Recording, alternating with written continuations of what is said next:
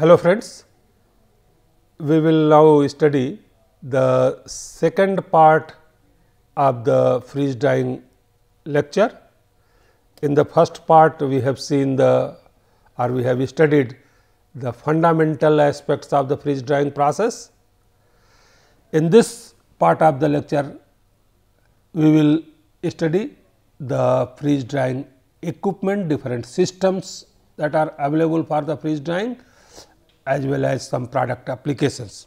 In this slide, you can see the freeze drying that is the freeze dryers, freeze drying systems may be a pilot or laboratory scale and it may be or it is available systems are also for industrial and large scale freeze dryer.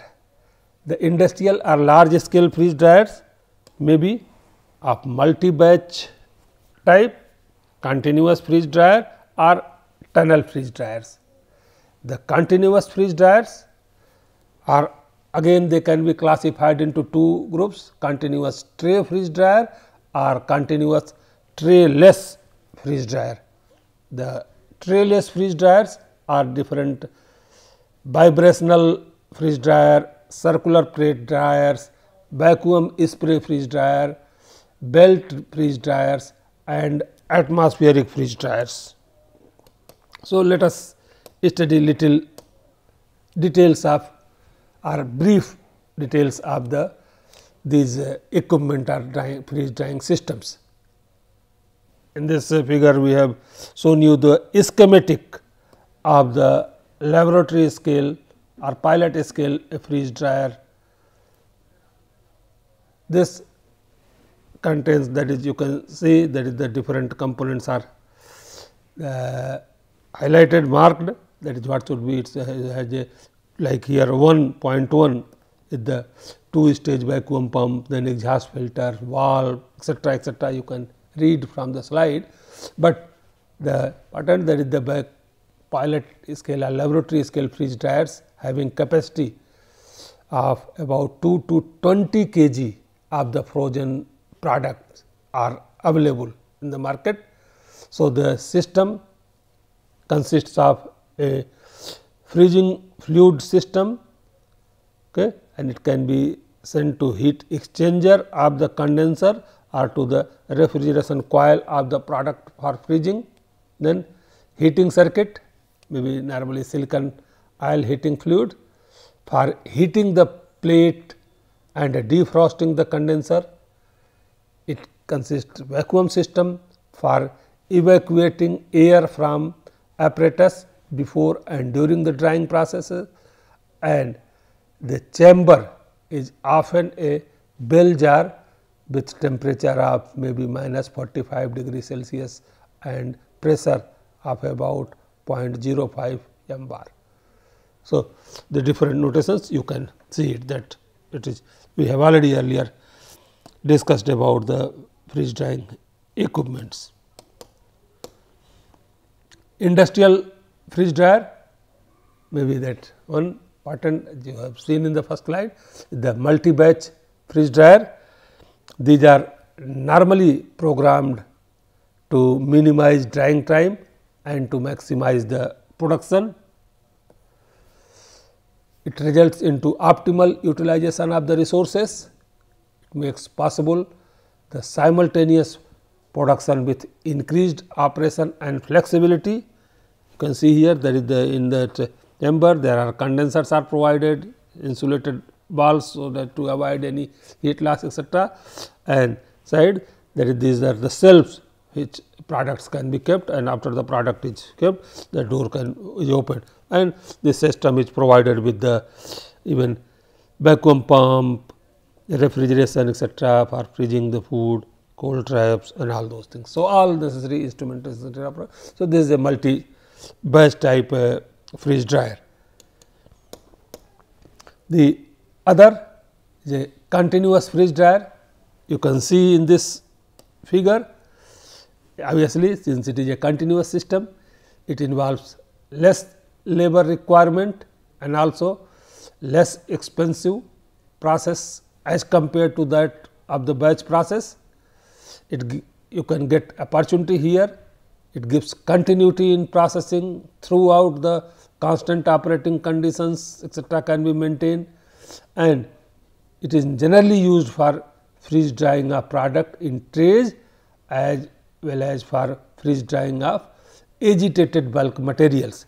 You can say here that is in the the trays are here put and these trays they moved that is the heating plates are here in different chambers and the among the heating plates that is the product are contained on these trays. Okay. There is a entry lock and there is a exit lock entry lock. So, the product is loaded in this section here then it is moved to the next section entry lock is closed opened uh, closed and then it moves to the one from one section to other section etc. and every section is provided with the condenser systems. Okay. So, that is the drying tunnel.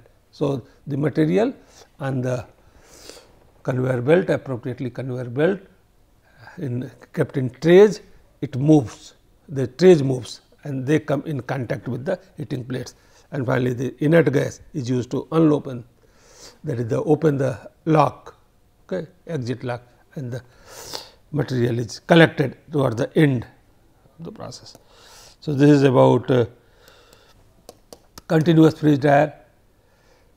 Similarly, the continuous tray freeze dryer can see here it is the a picture of a taken from the literature of a continuous tray freeze dryer has been shown here and the product is placed on trays and move along the dryer in a continuous manner. There are two main types depending on the type of the condenser used.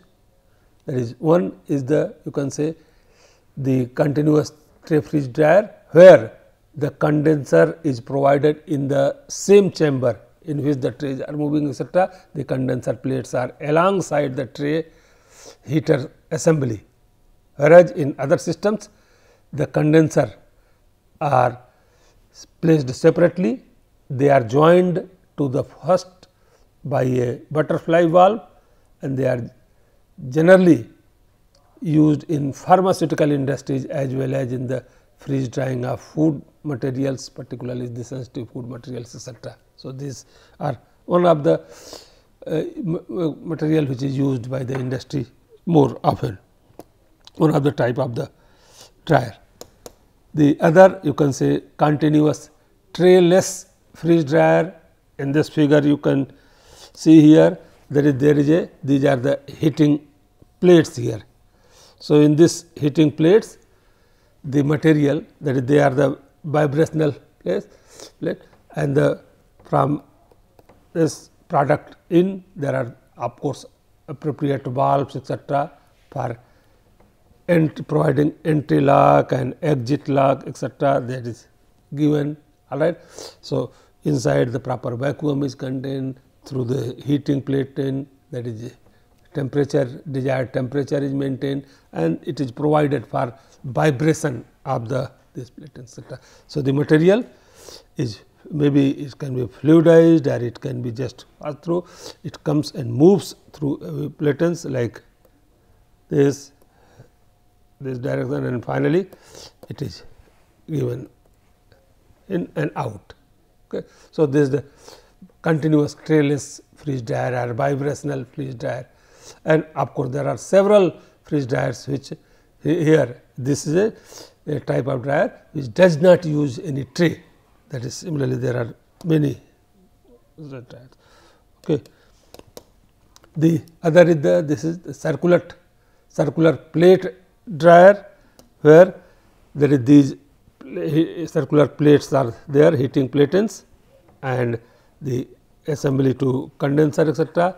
This is the entry the product comes here that is right the product is put and then these circular plates that is like there is a material moves from one plate to other plate, one plate to other plate, it finally comes to the bottom and by the time it comes to the bottom, it is dried and then exit lock is open and to go. So, of course, in all these cases there is the movement of the belt and speed etcetera, temperature, pressure all these properly maintained. So, this is a pictorial or schematic presentation of a circular plate dryer. The other is the atmospheric freeze dryer schematic presentation you can see here in this figure. Okay. The fluidized fine particles of the adsorbent and frozen product are put inside a chamber which is called dry chamber or in a column. Okay. These are the adsorbent are put the drying chamber and the frozen product these are the frozen product. Okay. And fluidization media is a dry and cold gas air or nitrogen the heat of adsorption actually provides the heat for sublimation in this case. And finally, a final heating step with the hot air to remove the bound water in the product is provided towards the end. So, this system is again a good system, but it uh, that is a here you can have one can have a good heat transfer coefficient. So, so heat transfer coefficient is that the process efficiency may be more that is, uh, but it uh, its mass transfer is comparatively lower because of mass transfer rate lower than that of the vacuum drying since the because in the case of vacuum. So, vacuum freeze dryer they result in the faster freezing or faster sublimation, but here because of the an atmospheric case the mass transfer or sublimation rate is comparatively lower. So, that is one major drawback of this system. Uh, the other system is the vacuum spray freeze dryers. You can see schematic here. That is it contains there is one setup here that is which is provided with the refrigerated coil per and this with suitable atomizers. That is the atomized that is the product fluid is atomized by spray nozzles and it well in the form of droplets and these droplets as they come toward the atom they get frozen. So, the frozen mass is allowed to fall on this moving belt and the belt moves where it comes in contact with that is inside the vacuum chamber where this vacuum may be around 67 Pascal or so. It comes in contact with the heating platens where the temperature latent heat of sublimation is provided and the ice sublimes. Okay. And in this process the people have worked and they have reported that around 12 to 15 percent moisture loss is obtained here and obtained particle size particles 150 micron or micrometer.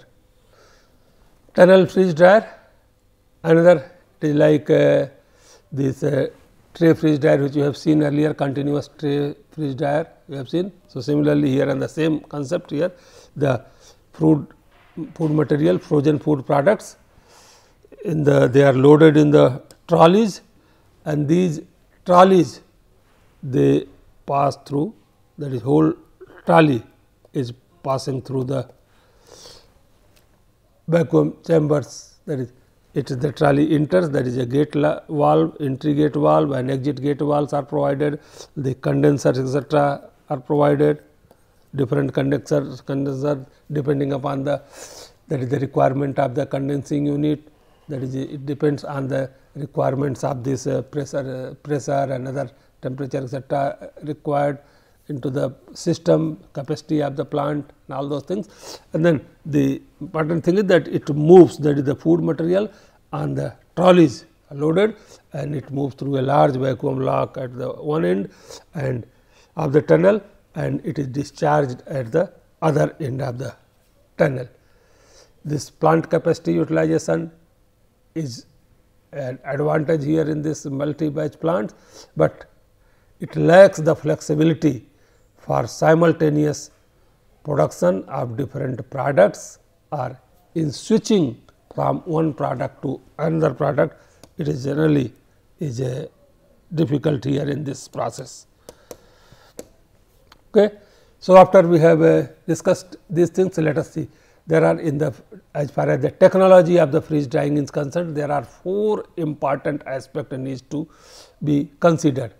That is those are pre-freezing, freeze concentration, condensing and defrosting and all these processes are must be they must be considered they are required proper meticulous conduct of these processes are required in order to ensure the process economy and quality of the finally processed product. As far as the pre freezing is concerned, it is done to reduce the freeze drying time cycle. Okay. There may be direct contact freezing or indirect contact freezing. In the direct contact pre freezing, individual quick freezing like IQF, atmospheric bed freezing or immersion freezing etc., may be used for the direct contact freezing, whereas plate freezing, air blast freezing or scraped surface heat exchangers can be used for indirect uh, contact freezing. And here in the figure, the it has been explained schematically with the schematic diagram that is where in the direct contact freezing the liquid food material or other food material in which form it has to be frozen, it comes in the direct contact with the freezing media or freezing plates. Whereas, in the case of indirect there is a some medium involved in between the freezing medium as well as the food there is no direct contact. So, some heat transfer and other the physical barrier etc., those issues are there. So, that needs to be properly resolved in order to have a process efficiency. Then freeze concentration that is another important aspect in the freeze drying processes particularly required to reduce the cost of the product that is to improve the process economy because otherwise it becomes a very costly process to remove the moisture from the food material in the or sublime from. So, a part of the or maximum as maximum as high as possible the ice content is uh, separated all right in the freeze concentration process. So, it the process involves that the of course, the feed is the crystal nucleation and then crystal growth. So, this is the basically freezing process. So, the uh, water is converted into the ice and these ice then is separated from the system either through that is the centrifugation process. Normally the slushes of the ice crystals they are crushed and these fine ice crystals either by centrifugation or by other system that is they are heated and they are converted into they are evaporated in this system. So, you can say that the scraped heat exchanger etc., may be used for removal of the ice through this crystallizer. there is a this is a crystallizer where the material is coming. So, it is pre-cooled it goes to the ice slurry crust, crust ice pass through this heat exchanger system where the ice is allowed to melt and removed from the high purity water and this water can be and then liquid concentrate is recycled again. So, as once the final concentration desired final concentration is obtained. So, this concentrate is used for the next process of the freeze drying. So, this in fact, the R separately here there may be some centrifugal system through which this ice crystals that is small ice crystals can be separated. So, this results in the process. Condensation again you know that the it prevents the water vapor from returning to the product or passing into the vacuum pump and condensers are arranged so that the vapor flow sweeps the non condensable compounds into the vapor stream and they are removed by the vacuum pump. And this there is a condensation is a very good effective condensers and the condensers, or condensers etc. They should be proper the effective. So, that uh, its removal of the sublimation process and rate of the mass transfer is greatly influenced by this proper condensation. So, that the moisture which is coming as there is, there is sublimed in the gas form, they are condensed here and converted into ice and then finally removed from the system. Then defrosting, defrosting that is the amount of ice that is deposited in the condenser grows with the progress of the freeze drying process. So, its should be continuously removed. So, that is the removal of ice from the condenser is called defrosting right. So, and this becomes again to get the process efficiency process economics the defrosting is a very uh, very very important step. If it is not defrosted regularly, if the ice is deposited inside the condenser system, then rate of the sublimation will be uh, adversely affected and the process economy or process efficiency will be adverse. So, one has to see that that is the ice which is formed it is properly defrosted and removed from the system. Different ways for defrosting include passing hot air or hot water or steam or even using a heating element. So, here in this case is actually that the ice is again converted into liquid water and then allowed to flow out of the condenser. Collapse very very important uh, phenomena we need to understand and which again influences the process efficiency as well as product characteristics, its structural composition etc., the nutrient losses and all those things. Okay. And uh, as you could know that the freezing process it results into the separation of ice and a concentrated solution of the solute that is the most of the unbound water is converted into ice and the other so there is some water remains that is the unfrozen and in this unfrozen that is all the solutes are concentrated. So, there is a change in the bulk density is obtained when the product is heated to a certain temperature. And because of this this change in the bulk density is known as collapse as you can see here in this figure. That is the collapsing capillaries particularly that is in this capillaries where in the unfrozen mass and it present in the concentrated solutes and these uh, capillaries with the change in temperature they collapse and because of that there may be it might have influence on the structurality uh, or loss of volatiles and all those things. And this collapse occurs when mobility of the concentrate phase increases and the temperature at which collapse occurs is a, accordingly a function of the moisture content and solutes of the food. Depends. It may depends that is the what is the moisture content particularly. The initial food and the finally frozen food in the concentration of the solutes type of the solute and the water unfrozen water present in this. So, all these factors will determine that at what is the temperature actually required for the collapse are needed the, at which temperature it will collapse and then the process should be accordingly controlled. Another important aspect factors is the which governs the quality of the finally freeze dried food material is the type of freezing used or whether it is slow freezing is used or uh, fast freezing is used. As you can see here that uh, in this picture there are there is one is the slow freezing or slow cooling process or there is the rapid cooling or rapid freezing process. In the rapid cooling it results in the large number of ice crystal formation okay, and all the ice crystals are uniformly distributed.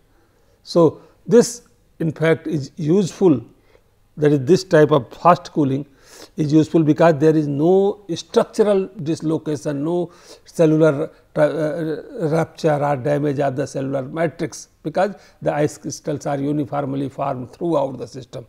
So, this results in a better structure, better uh, of the finally dried material. However, this uh, process that is the conduct of the process becomes little difficult because this uh, this uh, resulting products here there are lot of resistances to the drying or to the lot of resistances to the sublimation because the sub ice is uniformly distributed. So, all these factors so resistance to the sublimation is more. So, difficult to dry. On the other hand the slow cooling or slow freezing results in a large ice crystal okay, and because the large ice crystals it may result into the structural change structural damage all right particularly in the material like uh, when the frozen meat or flesh etc that is after the thawing it may if uh, it has been frozen by a slow cooling process you can see here that is this results into maybe large amount of ice crystals etc. Okay. And these ice crystals large ice crystals which are formed they may cause the shrinkage of the cellular matrix that is there is a with pressure on the cell it may get distorted. So, the finally when you freeze dry it that is these ice crystal size may result into the uneven or ununiform particle size and etc. or even after drying that is when further regain the moisture. When uh, rain in the case of muscle etc., the structural damage etc., may be appear. So, these two phenomena that is the collapse and the freezing rate these two are the important factors which contribute to the product quality during freeze drying process and these should be properly analyzed and considered. So, the as far as the volatile retention in the freeze drying is concerned that is these two factors in fact also they govern to a great extent the volatile retention. It is better retention of uh, sensory characteristics, aroma, nutritional qualities etc., the freeze dried product long shelf life and the volatiles are retained by entrapment within the dry food matrix or they are present in the volatiles are localized and strongly bound in the micro regions which are small areas in the dried material or the open porous structure may cause oxidative deterioration of the lipids and minor changes to protein, starches or other carbohydrate may also take place. So, the, so but in general the freeze dried material the volatile retention is more. So, as far as the application of freeze drying in food processing is concerned. Again although it is a considered to be a costlier process, but still it is recommended or rather it is being used for processing of large scale processing of the various products particularly for those products which have heat sensitive components like fruits, vegetables, meat, meat products, poultry, fish, shellfish etc. all these things where there is a danger that during conventional dehydration or process or heat may result into the destruction of the quality or volatilization of. So, the high value heat sensitive materials for there for prevention of the nutritional qualities, health uh, bioactive components, health ingredients that is these are the freeze drying is a recommended process. Even the largest application of the freeze drying commercially is the drying of the uh, preparation of the freeze dried instant coffee and tea. Even the freeze drying of egg yolk for making egg yolk powder, it can be done at a comparatively economical cost. Dairy products, even the starter cultures for yogurt, cheese, etc., they are generally freeze dried. When freeze dried microorganisms are frequently used for fermentation processes, they are used in bioconversion reactions or even for uh, keeping or storing these uh, microorganisms for longer period of time in the research purposes etc., in the microbiological laboratory. In fact, lyophilization or freeze drying is an important step. So, even the coloring pigments in food material etc. that is the food colors and pigments in natural color they are freeze dried to improve their shelf life without any deterioration in their color hue or in their quality. We will take one or two examples that is one is the freeze dried instant coffee. So, for the step for the preparation of the freeze dried coffee that is done it is one that is market in the market freeze dried coffee are available because the quality that is obtained after the freeze drying is much much better. So, the quality consider quality considerations are they dominate over the little cost involved in the process. So, normally there are two like no, number one that is there there is extraction, filtration and concentration, then recovery of aromatics and then Uh, reserving the aroma and flavor. So, the coffee or even instant tea also that is first a brew is made and then this brew is filtered and concentrated using suitable equipments etc. and then from these concentrates concentrates of that is the coffee extract as well as the coffee brew concentrate as well as even separately the similar processes you also used for instant tea manufacturing. So, they are from the volatile aromas are recovered and they are kept aside then that de aromatized concentrated uh, this uh, coffee or uh, tea extracts is frozen and this frozen in mass is passed to the like uh, uh, sent to the there is some time after freezing it is cooled and uh, ground for size reduction grinding is done and then in the particle size that is ground particles they are subject to the sublimation. Sublimation in the appropriate conditions by uh, using appropriate freeze drying equipment. And after the sublimation may be sometime at the here itself or even after sublimation the aroma which was uh, recovered earlier it is again added into the dried material and finally, the product is packaged. So, this is the flow diagram showing the manufacture of is freeze dried instant tea and coffee. So, although for that drying the spray drying can also be used, but the freeze drying gives a better result as far as the quality is concerned in comparison to those that is of the spray dried instant tea. Okay. So, as I have shown you in the earlier diagram that is the freeze drying of coffee involves that is the primary freezing where the coffee extract is chilled to a slurry consistency at around minus 6 degree Celsius, then it is cooled. That is the pre chilled slush is placed on a seat belt tray or drums and further cooled in a series of steps until it reaches a temperature of minus 40 to minus 45 degree Celsius and then these slabs of ice ground into particles of for the drying and too small are melted returned and return to the primary freezing state that is after drying is very fine set of things they are recirculated to the primary drying step. So, finally, that is this uh, particles appropriately sized ground particles frozen mass they are fed to the freeze dryer. That is frozen particles are sent to the drying chamber where under proper conditions of heat and vacuum the ice is vaporized or it is sublimized and removed from the product. And we get the instant dried freeze coffee or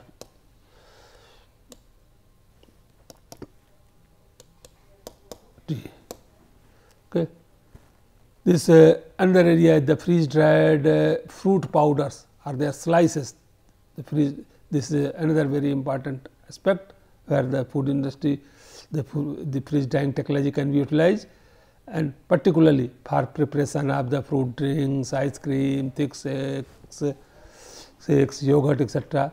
used to make candy and toffee, making instant juice mixes, flavoring instant foods. So, all these particularly these freeze dried products can be made to prepare that is a food ingredients even they can they are used in rich cream filling chocolate products cereals and fruit bars etc.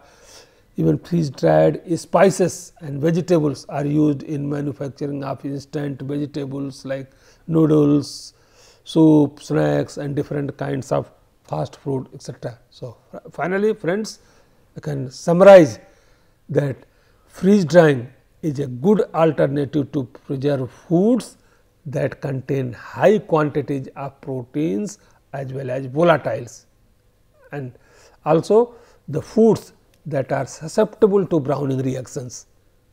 They make a good ingredient for freeze drying. The porous structure resulting from the sublimation of ice allows instant properties in the freeze dried product and which we see in the freeze dried instant tea and coffee. Some important parameters however, need to be considered for a specific product and those are freezing procedure, collapse temperature, secondary drying end point, vacuum condenser size and heat source. So, if all these parameters are properly controlled, properly maintained and these parameters that is what should be these parameters depending upon the food characteristics etc. They are done by proper engineering calculations, equations etc., which we have discussed, then actually it become and if they are properly conducted, the process is properly conducted, this becomes a very very good process for drying up the food materials or high value food materials. With this I thank you for your patience hearing.